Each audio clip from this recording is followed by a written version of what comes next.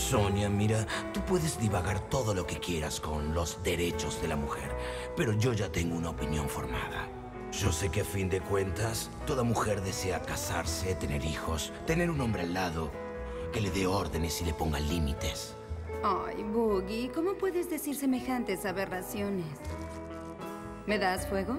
Sé de muchas mujeres que aman que les prohíban cosas como fumar, beber o usar vestidos escotados. Pues serán mujeres imbéciles. Así como hay hombres imbéciles, hay mujeres imbéciles.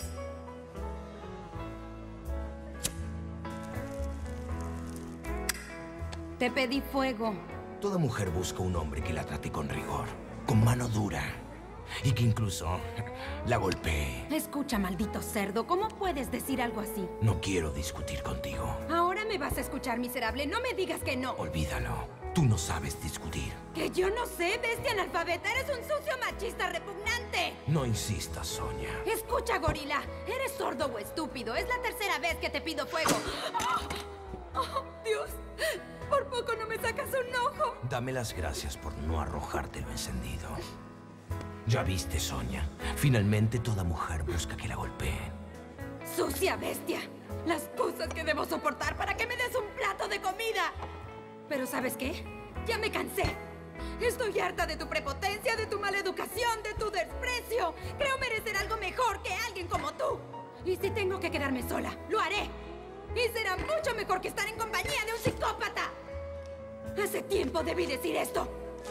Mm, Ser de mi mundo.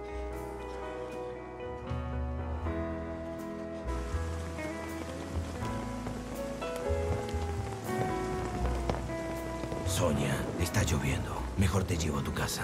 Ni lo sueñes, ya no quiero verte más. Entonces, ten, son las llaves del auto. Vete con él y déjalo donde quieras. Yo caminaré. Quizás la lluvia refresque mis ideas. Me ha hecho bien tu sinceridad. Llámame mañana, si quieres.